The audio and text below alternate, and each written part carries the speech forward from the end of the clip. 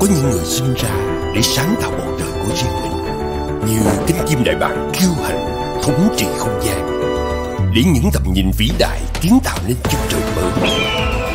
Nơi con người làm chủ thời gian và không gian. Những ai dám sáng tạo bầu trời Chính là chủ nhân thực sự của mặt đất. Sở hữu lối sống thường lưu đậm chất bờ Tây nước Mỹ. Vì chủ nhân xứng tầm của The Beverly Solari.